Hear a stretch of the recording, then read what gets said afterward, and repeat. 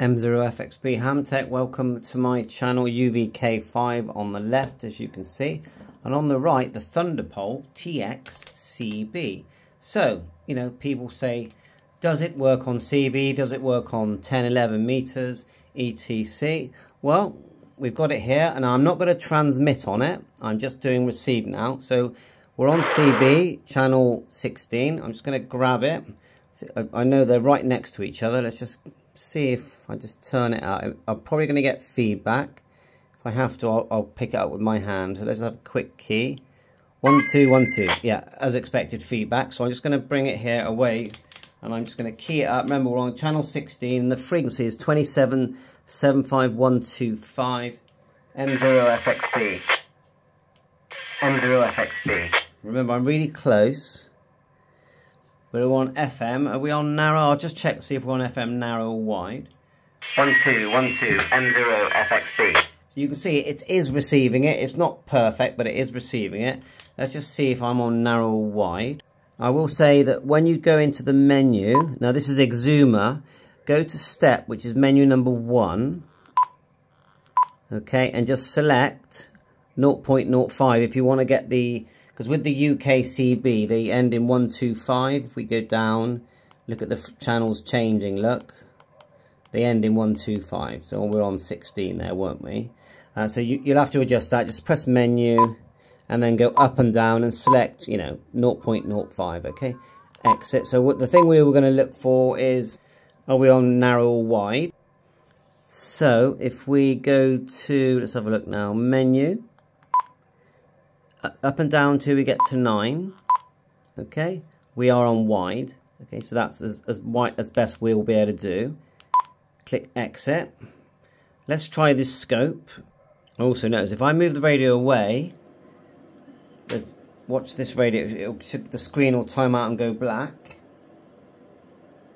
Of course it's not going to do it and I want it to. There it goes. But if I move the the Quansheng near it ta-da! Look what happens. But anyway so go to F then 5 you get the you know sort of spectrum. And if I key up now on the CB test test test and then you can hear it. Yeah you can see that the spectrum's working. Okay something else to notice. Now with the UVK5 to get the secret menu you turn it off hold down the bottom PT sorry the button at the bottom and the PTT this one this one hold it down turn it on and then you release keys like it says. And you're in the secret menu and you'll when you go through the menus instead of going 1 to 60 it goes 1 to 69 let me just show that again. I think I pressed the wrong key. So it's off this button under the PTT and the PTT turn on. Okay. And now you get the menu 69 there it is there so you've got 60 menus and then we're on menu we're number one at the moment, but we've gone into the special menu, so it's 69. If you go backwards, you'll see that with 69 you've got reset VFO, battery type, whatever that is.